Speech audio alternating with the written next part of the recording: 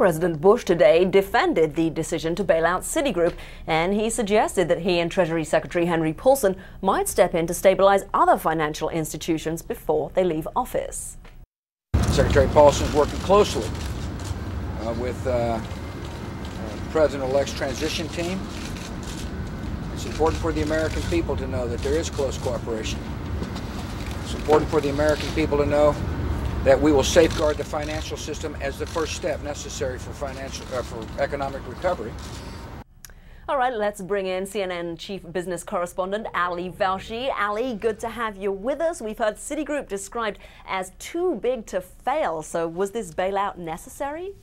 Well, C Citigroup and uh, eight other banks are considered systemically important financial institutions uh, under the bailout program, which means that they are, their tentacles are so, uh, so, so they're, they're everywhere. And, and a failure of one of these banks wouldn't be an isolated event. It would affect a lot of people with mortgages and with loans and, and with deposits. And if it were to fail, the government would be on line, on the hook for some of those deposits anyway. So there was a sense that uh, they needed to be involved here. The other thing is the plan to fix Citigroup was a negotiation with government officials, with Treasury, with the Fed. Congress was involved in this, uh, and it comes with some uh, some stipulations that weren't in the 700 billion dollar bailout. For instance, Citigroup is going to have to limit certain executive compensation, won't be able to issue uh, golden parachutes to departing executives. It can't use this money. It's got to restrict some of its dividend payments, which means the money can't go to enrich shareholders. Uh, the government is getting stock in return for its loan to Citigroup, and Citigroup has got to restructure some of the mortgages that it holds for troubled homeowners. So there are real strings attached to this, uh, and the market reaction today has been phenomenal. Why? Not just because of Citigroup, but because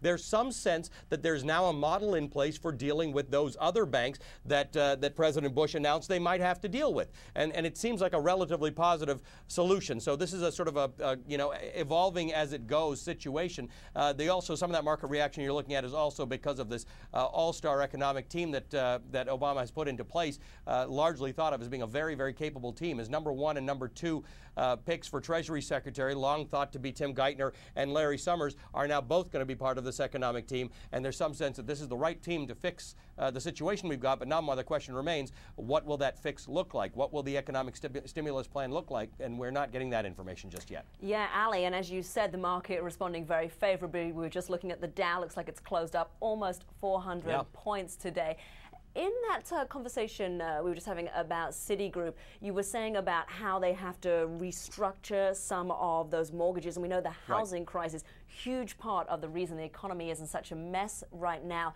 We've heard that sales of existing homes fell more than expected last month. And take a look at this, Ali. The national median price for an right. existing home dropped to 183,000 $300 in October. That's down over 11% from a year ago when the median price was over yeah. $206,000. So, Ali, what does this tell you about well, the economic the outlook? Look at those numbers. The, the price of the house is down more than 20000 bucks. The median price of an existing home, we talk about existing homes, that's what we know of as used homes, a house that's already there as opposed to buying a new home. That's the overwhelming majority of all the homes for sale. But look at that. The price is down more than $20,000. The interest rate on a 30-year fixed mortgage isn't substantially higher. You, are still paying in that 6 to 6.5% range. So that's the interesting part. And that what happens is as these uh, home prices come down, at some point they start to feel affordable to people if they are able to get the credit. And that's the hope that if you keep the Citibanks of the world going, and people can still get loans to buy uh, to buy homes, and the price of homes is coming down. At some point, reasonable people start to say that's a good deal for a home. They start moving in, and that's how home prices start to move up. It doesn't address the job situation, which is uh, confronting uh, Obama and his team, but this might mean that we're getting closer to a solution. It might not be low enough for most people yet, but it's certainly getting there. Yeah, I guess the question will be when will it be low enough? When might we start to see things turning around? Well, we've seen it in some states. We've already seen the states that were hardest hit Nevada, California, Florida,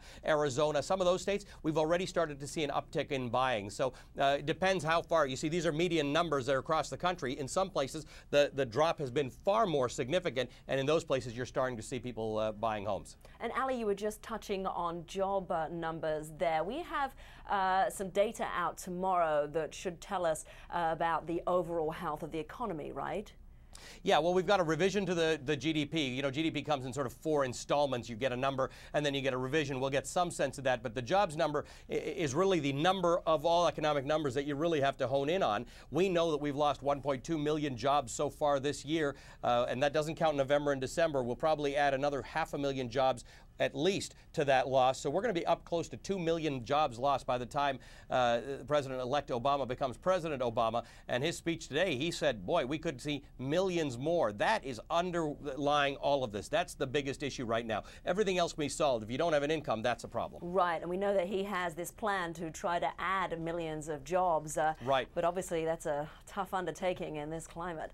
Well, hard to know how you create jobs. I mean, uh, uh, John McCain said you lower business taxes, and businesses use that money uh, to to hire people. Uh, the, the way they're looking at right now is an infrastructure building program, possibly fixing the roads and the bridges and the electrical system in this country, and maybe part of Barack Obama's alternative energy uh, economy that he wants to build. But I think that's what they're spending their time thinking about. Where, where do you get the best bang for your buck? You know, an economist told me, Namwa, that uh, you know if you if you have a little kid and you take him to the park, that's really the best analogy. When you push a swing for a kid, it only works if you push the swing when the kid's uh, right up near you. If the swing's over there and you push it, you're not going to get anything. That's what where where are we in the economy and where can that push be most effective? That's kind of what they're thinking about. All right, I like that analogy, something everybody can understand. Right. Ali Velshi, thank you very much for breaking it all down for us. Okay.